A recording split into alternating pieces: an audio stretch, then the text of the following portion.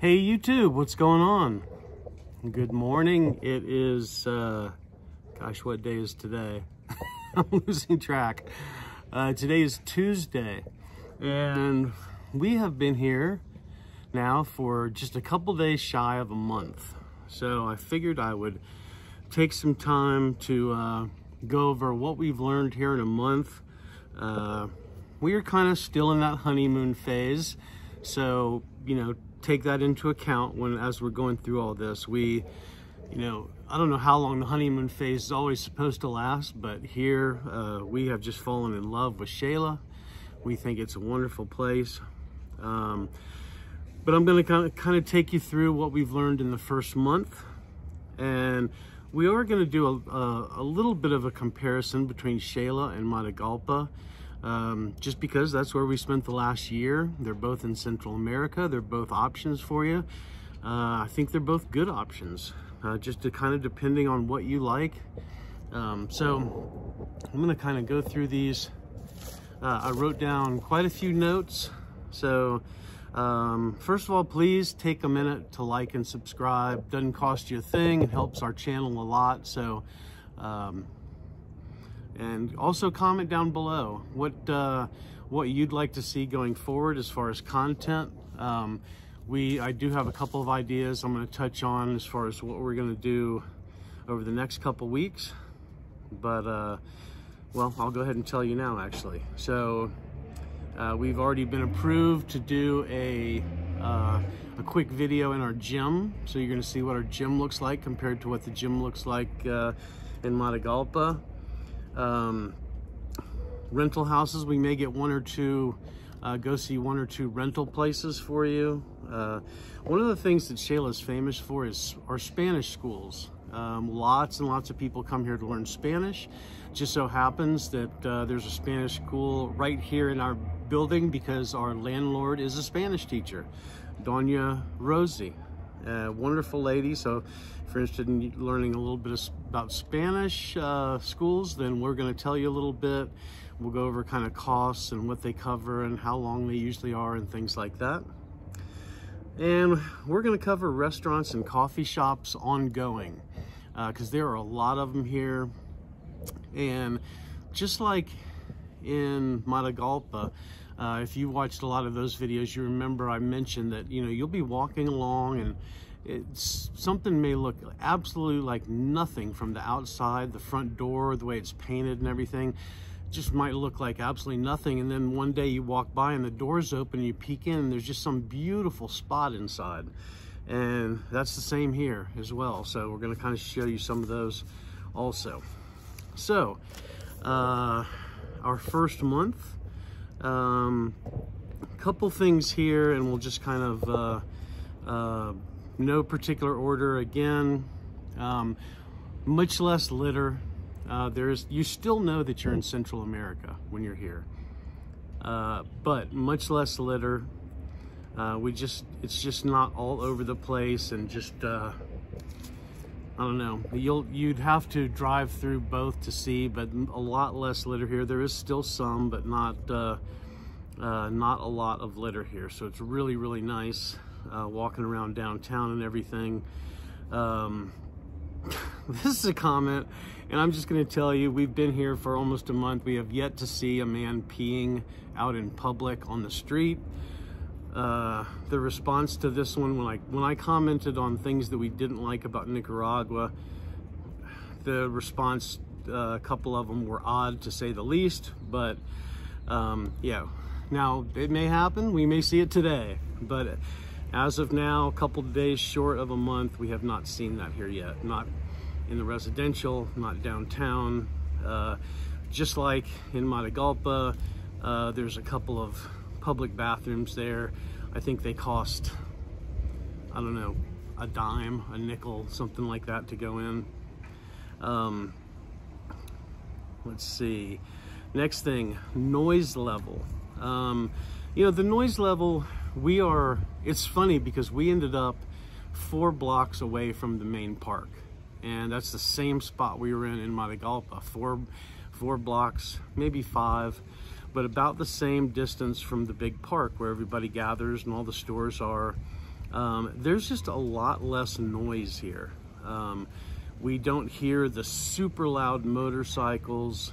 Um, there are fireworks here, but much, uh, it's just quite a bit less. Um, now, that being said, you know, December, December has got to be the month of fireworks in Matagalpa. And I'm going to say Matagalpa and Xela because we didn't spend, although we've gone to a lot of places in Nicaragua, um, you know, our we were, for the most part, Lydia traveled around quite a bit, but for the most part, I was in Matagalpa only. So, um, but much less noise here. Now in Matagalpa, you could probably move, uh, you know, a little farther away from the center of the city and escape a lot of that noise. Um, but here it's just been really, really quiet. Um, street dogs. You are still going to see the street dogs here, just like before. However, uh, you it is a noticeable difference that you don't see um, the skeleton street dogs here. The street dogs it, I mean, we noticed it the very first day when you're walking around, the street dogs all look well fed. I mean, you don't see any rib cages. Um, and Lydia and I have stopped to feed a few, and when we do, uh, a lot of times they're picky. I mean, they don't even want to eat what we're offering. So, um, you know, you are going to see the street dogs there's we we it seems to uh, feel like there's a lot more people helping here. I mean, we've run into some some people on the expat group that are that uh, help with the dogs. So, um, yeah, definitely. Uh, it, it's still very sad to see dogs out on the street and they're not getting that human contact. They're not getting any affection. And still, when we are feeding the street dogs. We get a lot of strange looks, but uh, anyway, street dogs are still here. They're just not very thin. Uh, they seem to get food from different places, wherever they, however they know to, you know, where they can get food, but they're uh, in a better place here. Guatemala, as soon as we cross the border, into Guatemala. Now we had, you know, a few hours getting to, when we were coming in here a month ago, we had a few hours getting into the capital city, Guatemala City. Then we had four hours uh, going up the mountains to get here to uh, Xela, which again is pretty close to 8,000 feet in elevation. Um, you could almost tell right away that it just wasn't the same. It was prosperous. Business is booming. Uh, if you've seen our uh, videos on the malls, uh, we've been to three, there may be more that we just don't even know about yet, but three huge malls there. You know, it's not, I didn't like going to the malls in the States. They, for the most part, they seemed dead to me. There was very few people there. Here, business is booming. I mean, these malls are full of people. It, most of the time, it's hard to get a seat in the food court. Um, so it's just, much more prosperous. There's fewer beggars out on the street. Um, so just, uh, uh, it seems like a prosperous place. Everybody seems happy. Um, the other thing that we noticed right away is, um, and this might be good or might be bad for you, and this, and same for us. Uh, you know, the dress in Matagalpa, you know, and I referred to it as lake house casual because it reminded me of when I was young and my grandparents' lake house and we spent the summer, you know, shorts, t-shirts, flip-flops, just running in and out, going to swim in the lake, coming home. Um, people dress up more here. So uh, it, in regular clothes and also in like the traditional clothing, which I think is super cool. Um, not really for the men, but for the women, the traditional clothing is just really, really cool. I like it. I think it's cool to see. Um, and you'll see multi-generations walking through the streets in the traditional clothes, anywhere from little tiny girls uh, to grandmas. And so I don't know, I think it's really cool, but people do dress up more here. It's kind of like uh, years ago, Lydia and I went to Bogota and we were used to the dress in Costa Rica and we got to Bogota, I was like, uh-oh, we are way underdressed. And so, you know, it's just a little bit dressier here. You don't see a lot of people wearing shorts. Actually, I got one comment about, you know, how I was prepared for the beach one day. Uh, you know, the, uh, if you stay in the sun in the, in the middle of the afternoon, it's warm. Uh, but you can walk 10 feet away and sit in the shade and it's just a different world. So uh, you can pretty much always wear pants. Um, once you get to say four in the afternoon, it's cool and a lot of times you may want like a light jacket or something. Uh, but people are more dressed up here and I think the traditional dress is really cool. Um, restaurants, uh, so many restaurants and again, uh, it takes a while for us to find them because a lot of times it's like very nondescript on the outside and you don't if they're not open, you don't see anything and would never suspect that there's a, a beautiful restaurant behind the doors. But then, you know, a couple days later, we'll walk down the same street at a different time, and all of a sudden they've got the doors open. You peek in and you go, wow, that is really nice in there. So uh, it may take a while for us to kind of find all these cool places. Uh, but, sorry about that. It's early in the morning, by the way. It's about 8.30. Uh, Sam and I have been up and had breakfast and coffee and Lydia and Roscoe are still sleeping. And we are up on the roof. Uh, as you might be able to tell, I brought up some clothes that are that I put, you know, are drying up here for us. But uh, so anyway, restaurants, it might take us a while, um, but we will get some, uh, some restaurants out to you on video. Coffee shops are all over the place here. And for the most part, they're small and really, really cool. So, you know, a lot of times they may have three, four, five tables, and that's it. So they're tiny when you go in, uh, but very, very cool. There's a lot of them.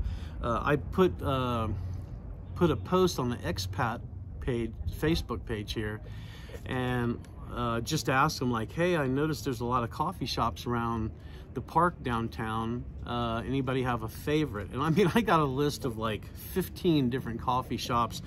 Uh, this, a lot of them have the same, had a lot of people, um, you know, mentioning the same ones over and over again. So those will probably be the ones that we'll start with, especially uh, the one that got the most votes here was one called Habitual.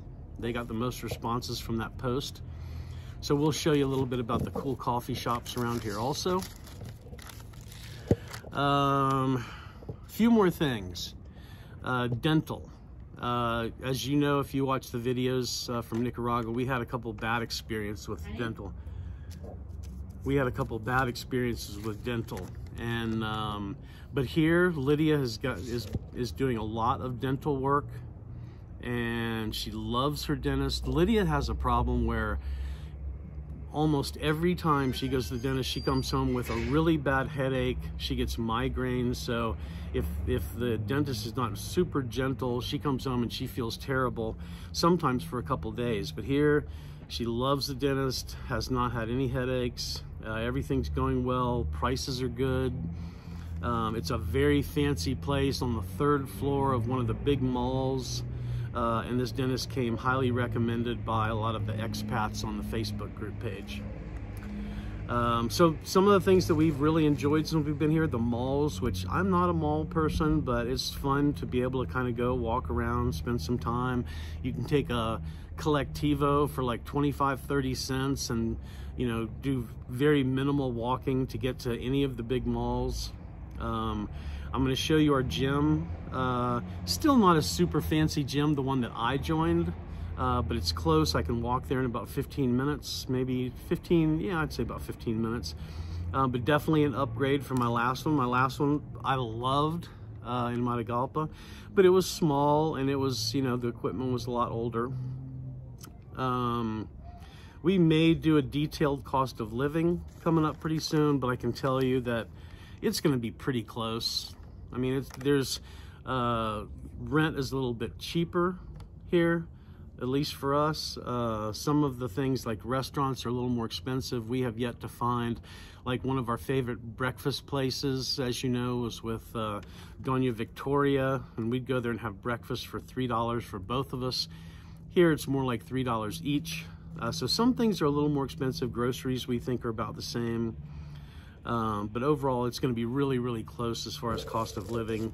Climate here, perfect for us. Now, again, our thermostat is a little different than a lot of people. We like it a little bit cooler, but you know, highs of 65 to 70, lows 45 to 50. For us, we just couldn't ask for better, better weather than here. It's sunny every day that we've been here.